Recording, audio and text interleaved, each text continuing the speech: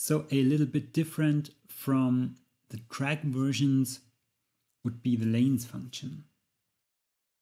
The lanes function allows you to record multiple times on one track. So if you set up, for example, a loop and you select a audio track and you press record, it will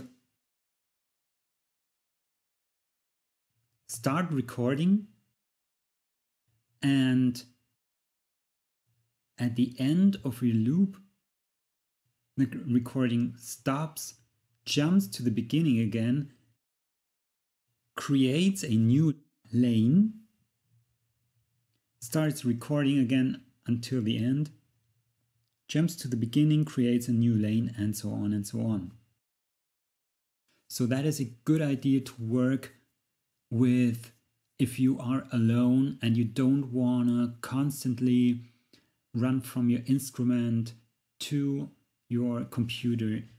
You could set up a loop, probably use the punch functions, let it start a little early and end a, little later, and then the computer will record constantly. You activate your click and you can concentrate on playing. If the recording is over, it stops. If it hits the end of the loop, it jumps to the beginning again. You know you have one bar left as a count in. The recording starts again, stops, and so on and so on. That helps you concentrate on making music and you don't have to worry a lot about your computer starting and stopping the recording.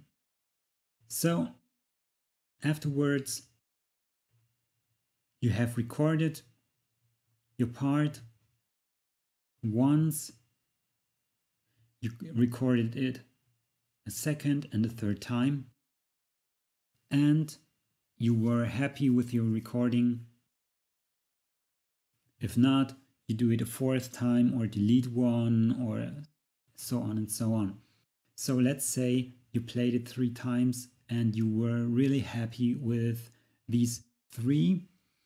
You played the whole song through, but you made some maybe tiny mistakes or not even mistakes. Some parts were just better than others. For that reason, the lanes function has a comping tool. It looks like this and you would just listen by hovering over your tracks and pressing command. These I have also explained in my key commands and shortcuts video. So you could, for example, listen to one part on the second, and the same part on the third, and the same part on the first recording. And then you decide which one you think is best. You choose your comping tool, select the range on the track you want to, and the other two get automatically muted. Of course, you can just use your normal play function as well, but I think the listening function with command is really practical because otherwise you have to go back, listen to that, play it, go back, listen to that, play it, and so on. And it's not very efficient. So you use your command key, you listen to the different versions that you recorded on your lanes, take the part you think is best, you mark it with your comping tool, and it gets selected and the other muted. You can, of course, afterwards, by clicking on it, change that. So if you selected one part and think maybe I want to try the other one as well, you just click on it and then have that one selected or muted. With this,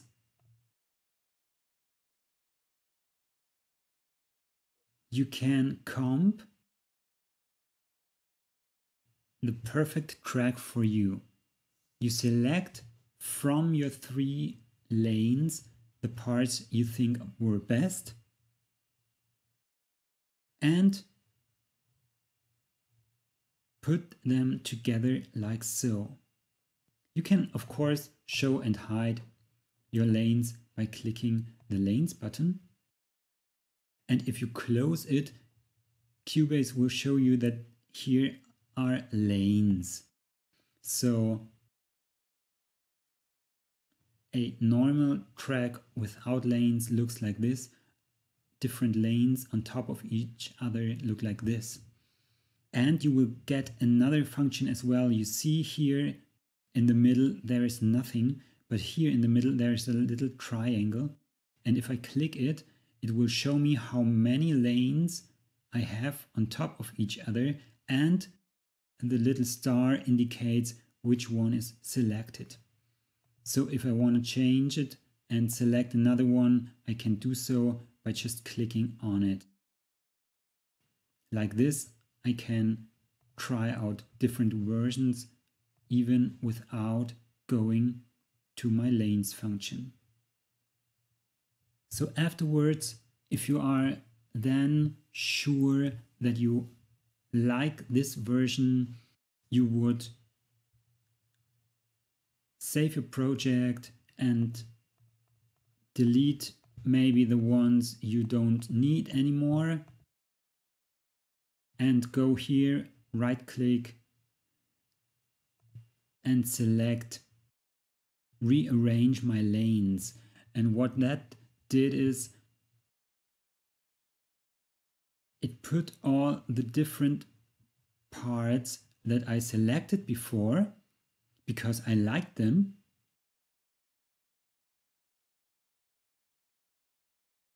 It puts these parts on one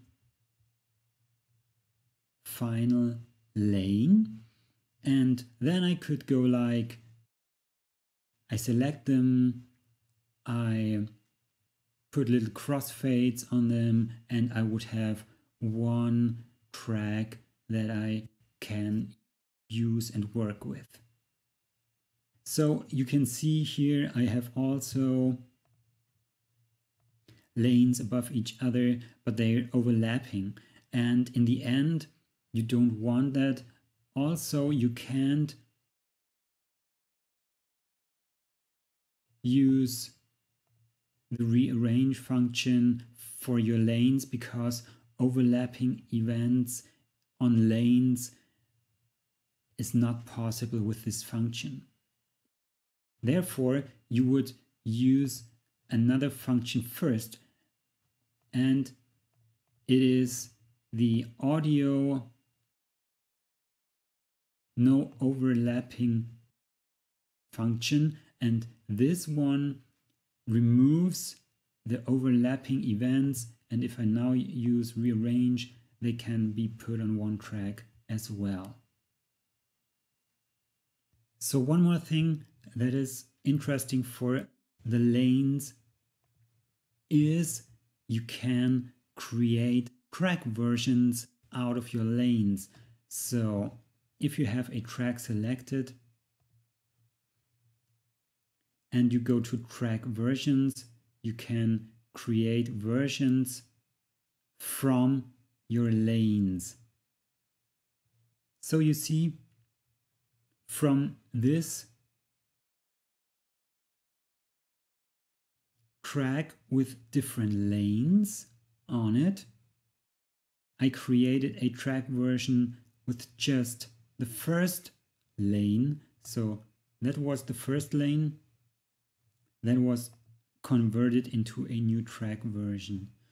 And that is the second lane also converted and the fourth also converted into a new track version. These were these before, so they were lanes and I now have track versions. So with track versions and lanes, you can be very creative and effective and you can combine and comp and try out different recordings and material and arrangements without having to put in new tracks or it won't get very messy so your track versions you can comp them to your perfect track. You can hide them. You could also like i showed before you would combine them to a perfect track and that will give you in the end the best solution for the audio or MIDI data you're working on.